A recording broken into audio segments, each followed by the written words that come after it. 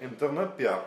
Э, интернет-пиар э, – это очень интересная и динамично развивающаяся отрасль пиара. Многие зубры профессии, которые начинали э, вообще это дело 20 лет назад в нашей стране, начали заниматься пиаром и слыхом не слыхивали про интернет-пиар. Я знаю, что вот многие на данный момент зубры пиара только вчера зарегистрировались, например, в Фейсбуке или там, например, обновили себе собственный сайт. Вот, поэтому интернет-пиар это относительно новая сфера деятельности, это сфера деятельности молодых пиарщиков, и это крайне интересно. А, я как а, человек, который защитил кандидатскую, кандидатскую диссертацию по теме а, антология интернета, то есть интернет-бытие, могу немножко разбираться в этой теме. И вот что я вам скажу.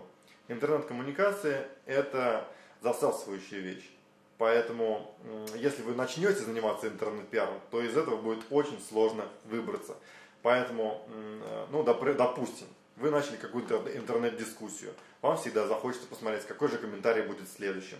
Э, вы опубликовали классную новость на уважаемом интернет-портале. Вам захочется посмотреть, как эта новость пошла дальше. И так далее, и так далее. То есть интернет-пиар, он, в общем-то, такой, это как спрут. Если вы читали Э, книжку э, «Любовь к трем э, цукербринам, цукербринам Виктора Пелевина, то вы должны понять, что интернет-пиар это более чем это матрица нового поколения.